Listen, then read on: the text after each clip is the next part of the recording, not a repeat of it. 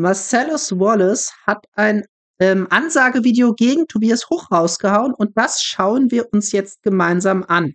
Der gute Marcellus drohte nämlich gesperrt zu werden und jetzt ist das Ganze erfreulicherweise doch nicht passiert. Und hier erzählt er uns jetzt mal warum und äh, warum er eine Ansage gegen Tobias Huch gemacht hat, beziehungsweise was Tobias Huch mit dieser runden Kanallöschung zu tun hat. Ja, moin. Ich wollte mich mal bei euch entsprechend zurückmelden, denn ich habe am Samstag im Stream gesagt, wenn ich am Montag in der Lage bin, Videos hochzuladen, dann wird mein Account nicht gelöscht und wir haben mindestens einen Strike von den dreien äh, wegbekommen und das scheint momentan der Fall zu sein. YouTube hat meinen Kanal bis jetzt noch nicht gelöscht. Wir haben jetzt gerade 14 Uhr ungefähr und wenn ich das Ding hochlade, haben wir ungefähr 16 Uhr. Von daher passt das schon alles. Ich gehe auch davon aus, dass mein Account jetzt nicht mehr verschwinden wird, denn wie gesagt, ich habe jetzt in der äh, Account-Sicht quasi bei YouTube äh, nur noch zwei Strikes und dementsprechend hat äh, die Anwaltskanzlei hier echt gute Arbeit geleistet in der letzten Woche dagegen vorzugehen, einstweilig die Löschung äh, zu verhindern. Und gleichzeitig hat wohl YouTube schon eingesehen, dass einer der drei Strikes völlig unberechtigt war und hat ihn dann entsprechend runtergenommen. Selbiges werden wir jetzt natürlich auch für alle anderen Strikes und auch vor allem für die sieben Meldeformulare für die Videos machen, denn die sind genauso rechtsmissbräuchlich eingereicht worden, um kritische Stimmen zu verstummen. Und natürlich kann man auch argumentieren, dass es nicht das mildeste Mittel war, was Tobias Such hier gewählt hat. Denn Tobias Such hätte mich in allererster Linie auch mal über die Kontaktmail, die von mir angegeben worden ist, anschreiben können und bitten können, dass falsche Informationen, sofern sie denn überhaupt vorhanden sind, gelöscht werden. Und wenn ich darauf dann auch nicht reagiere, dann hätte er sowohl striken als auch dann entsprechend den Rechtsweg wählen können. Das ist so eine normale, humane, humane äh, Rechtsmittelvorgehensweise, besonders wenn man dann wie Tobias Huch die ganze Zeit rumweint und einen vom Pferd erzählt, so von wegen, äh, wenn Ahmad, wenn äh, Heikel, wenn Aggressionsprobleme und Salim Samatu ihn wegen Urheberrechts striken, dann ist das ja ganz furchtbar unfair. Das wäre ja, ja okay, Marcellus Wallace zeigt es hier gerade die ganze Zeit. Das ist ja schon interessant, wenn man jemandem anderen etwas vorwirft, was man selbst sehr exzessiv einsetzt. Eigene Kritiker und böse und dann will man ihn ja löschen und zerstören und man behindert ihn in seiner Pressefreiheit und Meinungsfreiheit. Aber wenn man dann über Tobias Huch berichtet, mit Beweisen, mit Belegen, alles per Screenshots und alles öffentlich und nichts weiter als in irgendeiner Form belegt, dann weint er rum in seinem Discord. Ich zeige euch das hier nochmal, dass man äh, erstens mal auf so Hass und Hetze von mir nicht eingeht, was völliger Schwachsinn ist, weil es kein Hass, Hass und Hetze würde er nicht so viel lügen und so viel Scheiße erzählen, hätte ich gar kein Material, um da Videos draus zu machen. Und das dritte ist, er soll sich vielleicht auch mal an die eigene Nase fassen, wenn man dann bei anderen Leuten immer rumweint, wenn sie gegen ihn vorgehen. Ja, er weint wegen Shuyoka, weint er jetzt rum, dass er das Urteil kassiert hat. Er weint gegen Kayana rum, dass er ihn verklagt, weil er doch nur die Wahrheit sagt. Nein, er hat ihn tatsächlich äh, beleidigt und verleumdet. Und da würde ich auch gegen vorgehen. Und nichtsdestotrotz sollte Tobias Huch vielleicht noch weiter an seine eigene Nase fassen. Denn was Tobias Huch mir alles schon vorgeworfen hat in den letzten zwei Jahren, ich wäre ein äh, türkischer Grauer Wolf, also ein Faschist, absoluter Faschist der Türkei, weil ich ihn wegen seiner Aussagen zur Türkei und Kurdistan äh, kritisiert habe, was völliger Bullshit ist. Er lügt halt. Ein Copyright Strike weil dort Straftaten begangen worden sind, also verleumderische Straftaten mit dem Ziel. Ja, aber selbst wenn da verleumderische Straftaten begangen worden wären, dann ist äh, Copyright nicht das äh, richtige Mittel. Copyright Strikes verwendet man, wenn Copyright-Rechte verletzt werden. Also wenn jemand, wenn, wenn du beispielsweise einen Beitrag hochlädst und jemand anderes den exakt so wieder hochladen würde, ohne Kommentare, ohne irgendwas, dann wäre das ein Verstoß gegen das Copyright. Also ich persönlich würde auch da nicht gegen vorgehen, weil ich ja froh bin, wenn meine Botschaften weiter verbreitet werden. Also das Copyright-Vorgehen, äh, das finde ich sowieso ein bisschen absurd. Aber äh, ja, wenn jemand äh, Verleumdung betreibt, dann kannst du ihn anzeigen und du kannst äh, auch ähm, anwaltlich dagegen vorgehen. Also du, du kannst auf zwei verschiedenen Wegen dagegen rechtlich vorgehen. Also da brauchst du nicht die Copyright-Funktion zu missbrauchen. Ziel, dass ich körperlich angegriffen werde. Um eine, um eine Zielgruppe ähm, aufzuhetzen, die im Umfeld des Nationalsozialismus aktiv ist. Weil man es nicht auf die Goldwaage legt. Da haben die, die haben einfach, die haben einfach aus Versehen einen Fehler gemacht. Sie haben aus Versehen ähm, transfeindliches Fascho-Umfeld supportet. Dessen quasi rechte Hand oder den er supportet, ein Typ ist, der Transmenschen wirklich tot sehen möchte.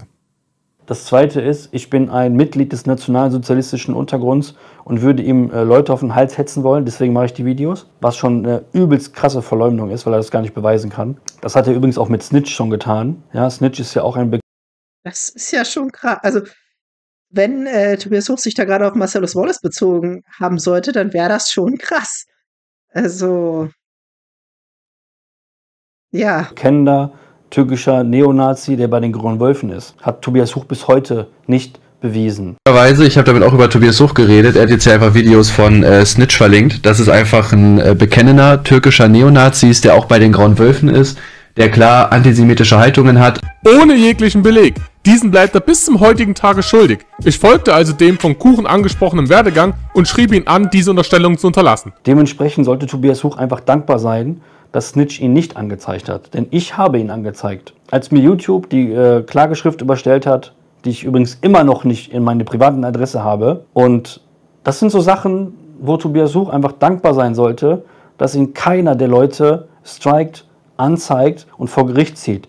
Zum Beispiel Vermietertagebuch könnte das tun, eine Chrissy Rieger könnte das tun, auch ein Aggressionsprobleme könnte das tun, aber sie machen es nicht. Der Mann soll einfach in Zukunft den Ball sehr, sehr, sehr flach halten und sich an die gegebenen Rechtsmittel halten und vielleicht auch mal zwei, drei Gänge runterschalten, äh, indem er andere Leute diffamiert. Das hat er ja damals bei Turan Deyemenji auch gemacht. Da hat er nämlich behauptet, sammeln, sammeln, sammeln, an den Verfassungsschutz schicken, so kriegt man die Leute schön klein. Sammeln, sammeln, sammeln. An den Verfassungsschutz schicken, ans Landeskriminalamt. So, so wird man diese Leute, äh, kriegt man die Leute schön dahin, wo sie hingehören, schön klein. Das gleiche könnten wir auch mit Tobias Huch machen. Sammeln, sammeln, sammeln. Anzeigen, anzeigen, anzeigen, vor Gericht ziehen, vor Gericht ziehen, vor Gericht ziehen und dann ist der Typ pleite. Also Tobias sollte dankbar sein, dass keiner der Leute, die er verunglimpft, verleumdet, übel nachredet, beleidigt, als Rassisten dasteht und so weiter, außer mir jetzt, vor Gericht gezogen ist, beziehungsweise ihn per Strafantrag angezeigt hat. Er soll wirklich den Ball flach halten. Und sollte noch ein einziges Mal irgendwas in meine Richtung kommen, dass ich ein Nationalsozialist bin, ein Neonazi bin, Rassist, Faschist bin, ein türkischer grauer Wolf bin und sonstige irgendeine Scheiße, die er sich da ausdenkt, einfach um mich. Also ich hatte Marcellus schon im Talk und der wird auch diesen Mittwoch wieder bei mir zu Gast sein im Stream. Ich hatte nicht den Eindruck, dass dem so sei. Also nichts Rex gesagt, sondern eigentlich ziemlich liberale humanistische Standpunkte vertreten. Also so ist zumindest meine Einschätzung. Also das wären ja wirklich absurde Vorwürfe. Also da, da sollte Tobias Hoch schon mal ein Statement zu abgeben. Ich meine, das sind ja ernst, also erstmal zum Missbrauch der Copyright-Funktion und zum anderen zu diesen ganzen absurden Vorwürfen, die er gegenüber Marcellus Wallace geäußert hat. Also das würde mich ja schon mal interessieren, wie er äh, zu diesen Vorwürfen steht zu diskreditieren, weil er einfach keine Argumente dagegen hat, was ich zu sagen habe, dann mache ich dich fertig, Tobias. Ich war jetzt zweieinhalb Jahre lang freundlich. Du hast mir zwei Jahre lang immer wieder Drohungen ausgesprochen, du würdest den Staatsschutz auf mich draufhetzen. Den Herrn, ähm, der in München arbeitet und ähm, um den wird sich dann auch einmal der Staatsschutz kümmern müssen, der die ganze Zeit rumlügt und irgendwann, es reicht halt irgendwann. Glücklicherweise ist der zuständige Beamte hier im LKA Bremen ähm, aus dem Urlaub zurück. Dann werde ich mich mit ihm treffen und dann mal die ganzen Sachen, die aufgearbeitet sind, auch erklären. Und dann wird das äh, sowohl auf der strafrechtlichen äh, Ebene als auch auf der zivilrechtlichen Ebene wird das dann mal angegangen. Du würdest die Staatsanwaltschaft auf mich schicken, du würdest mich anzeigen, du würdest mich verklagen. Du lügst auch rum, dass ich meine Adresse verschleiern würde. Wie konnte mir dann äh, dein Anwalt mit meiner privaten Adresse über YouTube eine Klage zustellen? Wenn du doch meine Adresse nicht hast. Ja, du bist einfach ein Lügner. Du bist ein richtiger Lügner. Und um das noch schlimmer zu machen, am Anfang, als ich über ihn berichtet habe, hat er noch KuchenTV mit reingezogen und versucht, äh, über KuchenTV mich mundtot zu machen, weil KuchenTV ist ein reich, reichweitenstarker Account. Der hat dann auf zwei, drei Videos reagiert und damit hat Tobias Hoch gedacht, so, ja, jetzt haue ich ihm so richtig eine rein und dann lässt er mich in Ruhe. Bullshit. Du lässt doch die ganzen anderen Leute auch nicht in Ruhe. Warum, muss, warum gilt das dann für mich? Das macht ja überhaupt gar keinen Sinn. Also statt irgendwie andere Leute zu verleumden, solltest du vielleicht vor der eigenen Haustür schaufeln und da mal gucken, dass du da alles wieder schön vernünftig machst. Denn äh, das, was hier so momentan rumläuft im Internet, was du so betreibst mit deinem Kumpel Ariel Shalikar, und für alles andere sehen wir uns vor Gericht, mein Freund. Denn angezeigt habe ich dich ja auch für die Verleumdungen, die du mir entgegengestellt hast. Die ich jetzt ja auch übrigens in das Video mit reinpacke, damit jeder sehen kann, was du in der Vergangenheit alles gemacht hast. Denn es gibt so viele Leute, die zwischendrin reingekommen sind, die noch gar nicht wissen, was du eigentlich für ein mieser Charakter bist, dann lernen sie dich jetzt nochmal richtig kennen. Und wir sehen uns im nächsten Video. Ich bin Dienstag und Mittwoch im Stream. Wer da mit mir reden will, kann gerne mit mir sprechen. Mittwoch auch das Gespräch mit dem Agitator. Ich werde auch noch mit Aggressionsproblemen reden. Ich werde mit Proletopia reden. Ich werde auch mit Brotfunk reden. Es wird also spannend. Es kommen sehr, sehr viele Videos in den nächsten Wochen und Tagen. Also seid gespannt. Ich kann jetzt wieder auf dem Hauptkanal uploaden und werde dann den Aasfresser TV-Kanal ja, Aasfresser ist sein Zweitkanal. Äh, ja, das ist ja, das ist ja schön, dass er jetzt durch unsere ganze Bubble rumgereicht wird. Finde ich gut, finde ich gut. Ähm, ja, ich habe Wallace, was ich bisher gehört habe, eigentlich, wie gesagt, total liberale, humanistische Takes. Auch, ich habe jetzt auch nicht das Gefühl, dass er so eine krasse politische Ideologie in irgendeine Richtung hätte.